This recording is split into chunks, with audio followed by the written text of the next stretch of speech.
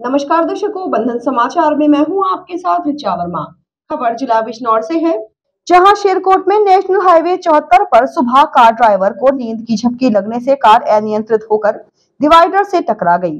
Car ने highway पर कई पलटियाँ खाई, जिससे कार सवार लोगों में चीख पुकार मच गई। कार में तीन युवतियाँ और चार युवक मौजूद थे। दरअसल आपको बता दें, सुबह शेरकोट के चुंगी नंबर पाँच पर उस वक्त दर्दनाक हादसा हुआ जब कोटद्वार से खो खो चैंपियनशिप प्रतियोगिता करके हल्द्वानी जा रही एक तेज रफ्तार कार अनियंत्रित होकर डिवाइडर से टकराकर खंबे को तोड़ते हुए पलट गई, जिसके बाद कार में चीख पुकार मच गई। हादसे के बाद चीख पुकार सुनकर आसपास के लोग मौके पर पहुँचे और पुलिस को हादसे की खबर दी। मौके पर पहुँची पुलिस ने स्थानीय लोगों की मदद से घायलों को अस्पताल में भर्ती करवाया।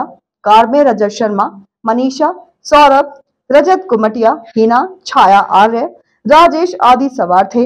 कार रजत शर्मा चला रहा था जबकि दूसरा रजत कार की डिग्गी में सो रहा था जिसकी हालत नाजुक है जिसको हायर सेंटर रेफर किया गया है जबकि तीन को थामपुर के सरकारी अस्पताल में भर्ती कराया गया। क्या नाम है भैया आपका? मोहम्मद दानिश। दानिश भाई ये एक्सीडेंट कैसा हुआ है?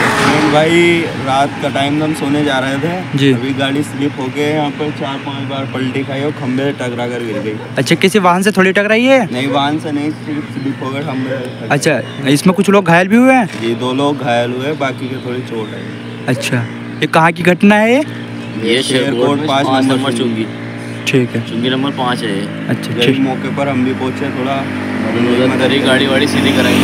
अच्छा गाड़ी वाड़ी से देकर आई गाड़ी देखो आप बिल्कुल। हाँ। खत्म हो गया खत्म हो गई।